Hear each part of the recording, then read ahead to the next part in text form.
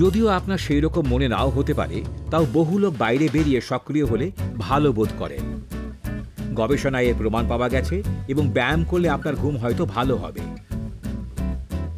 যখন আপনি সক্রিয় থাকেন, তখন আপনার শরীর আপনার মগজে ফিল গুড রাসায়নিক পদার্থ পাঠায়, এমনকি সীমিত ব্যায়াম করলেও আপনার একটু ভালো লাগবে। এর সাহায্যে আপনি বিষণ্ণ বা উদ্বেগজনক ভাবনাগুলি ভুলে থাকতে পারবেন। শারীরিক পটুতা উৎসাহের মাত্রা বাড়ানো ছাড়াও একটি নতুন দক্ষতা আয়ত্ত করতে আপনার ভালো লাগবে। আপনি যা পছন্দ করবেন তা অবশ্যই নিজের গতিতে করবেন। হাঁটতে যাওয়া, সাইকেল চালানো, সাঁতার কাটা বা সাংসারিক কাজ যাই হোক না কেন, আপনার দৈনন্দিন কার্যকলাপে ব্যায়াম রাখার চেষ্টা করুন, কিন্তু তা বাস্তবধর্মী হওয়া চাই।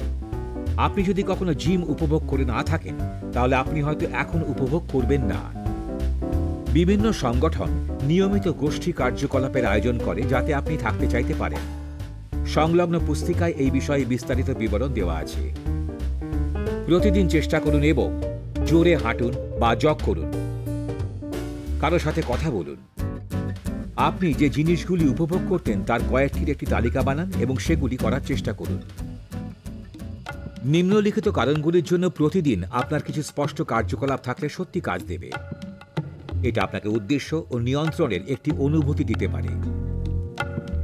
আপনি যা করেছেন, তার উপর মন দিতে আপনাকে সাহায্য করতে পারে। এর সাহায্যে আপনি কম অলস এবং বেশি উৎসাহী বোধ করবেন।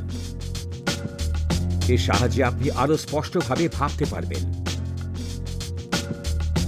কাজ করার জন্য এটা আপনাকে কৃতিত্বের একটি অনুভূতি দিতে পারে, যা করা আপনি আগে অসম্ভব ভেবেছিলেন। কাজের মতো প্রয়োজনীয় কার্যকলাপ এবং সংগীত শোনার মতো আনন্দদায়ক কাজের মধ্যে ভারসাম্য বজায় রাখা জরুরি। এতে সাহায্য পাওয়ার জন্য আপনার দিনের পরিকল্পনা করুন, তবে স্থিরভাবে নয়। আপনার যদি একটা কাজ বাদ যায়, তাহলে পরবর্তীটি করুন। দিনকে ভাগ করে নিন। সারা দিনের পরিকল্পনা করতে অসুবিধা হতে পারে। আপনার যা বাদ গেছে তার কথা না ভেবে আপনি যা অর্জন করেছেন তার জন্য নিজেকে বাহবা দিন। অপরিহার্য এবং উপভোগ্য কার্যকলাপের মধ্যে ভারসাম্য রাখার চেষ্টা করুন।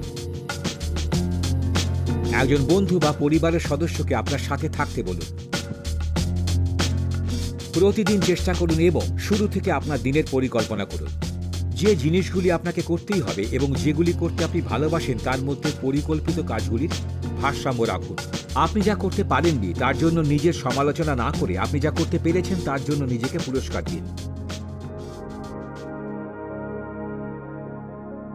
একটি সুষম আহার আপনার শরীরকে ভালোভাবে কাজ করার জন্য সবকিছু দিতে পারে। দৈনিক অন্তত পাঁচ ভাগ ফল ও সবজি খাবার চেষ্টা করুন। সম্পৃক্ত চর্বি ও কোলেস্ট্রল থাকা খাবার কম খান, যেমন লাল মাংস ও দুধের জিনিস। তার বদলে বেশি করে সাদা মাংস এবং মাছ খান। চা, কফি এবং হালকা পানীয় কমিয়ে বেশি পরিমাণে জল খেলেও কাজ দেবে। কিছু লোক মনে করেন, মদ ও গাঁজা কিছুক্ষণের জন্য তাদের ভালো লাগাতে পারে, কিন্তু এগুলি বিষণ্নতা স্থায়ী সমাধান নয়। মাদকদ্রব্য এবং মদ আসলে সেরে উঠতে বাধা দিতে পারে, তাই এগুলি এড়িয়ে চলাই ভালো। প্রতিদিন চেষ্টা করুন এবং বেশি ফল ও সবজি খান। চর্বিযুক্ত খাবার, কফি এবং মদ কম খান। দিনে দু লিটার জল খান।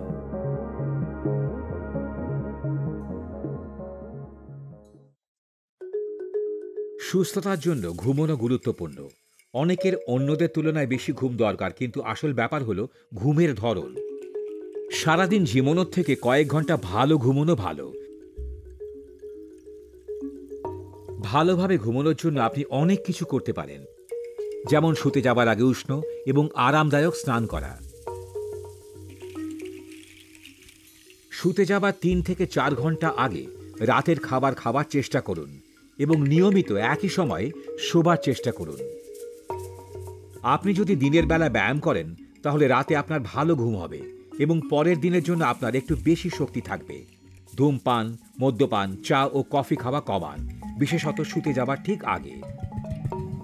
অনেক সময় আপনার মনে চিন্তা আসতে থাকে এবং আপনি তাদের থামাতে পারেন না। সুতরাং সেগুলি লিখে রাখার জন্য খাটের পাশে একটি প্যাড রাখুন। আপনি সকালবেলা সেগুলি দেখতে পারেন এবং হয়তো আবার ঘুমোতে পারেন। আপনি ঘুমোতে না পারলে চিন্তা করবেন না।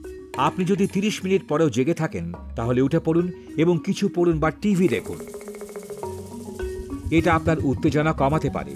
চোখ যখন প্রায় বন্ধ হয়ে আসবে, শুতে চলে যান। সবচেয়ে জরুরি কথা হলো ঘুমানোর ব্যাপারে চিন্তা করবেন না। আপনি যত বেশি বিশ্রাম করবেন, তত বেশি স্বাভাবিকভাবে ঘুম আসবে।